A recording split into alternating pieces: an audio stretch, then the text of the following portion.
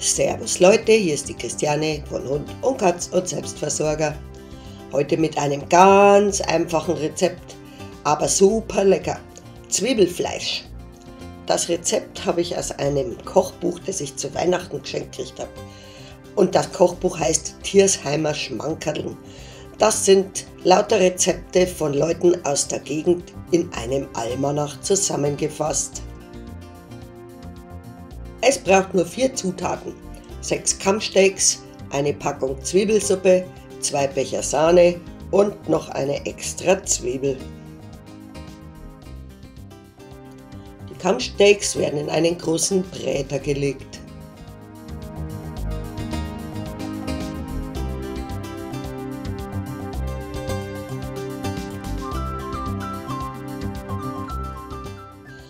Obendrauf wird die Zwiebelsuppe gestreut. Als Gewürz reicht es auch, man braucht nichts anderes.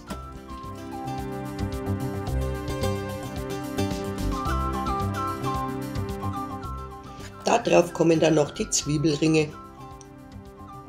Sehr fein schneiden, damit sie schön braun werden.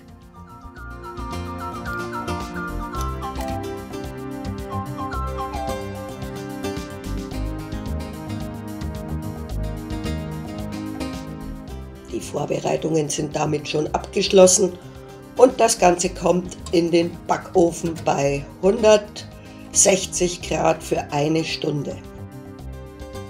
Nach einer Stunde werden die Steaks gewendet, dann die Temperatur erhöht auf 180 Grad. Zwei Becher Schlagsahne werden drüber gegossen und dann kommt es nochmal ungefähr halbe bis dreiviertel Stunde in den Backofen.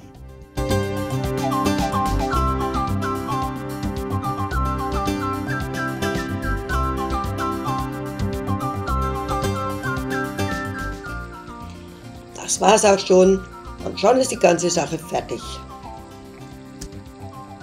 Hervorragend passen Pommes dazu. Und jetzt lassen wir es uns schmecken. Guten Appetit! Servus, bis zum nächsten Mal.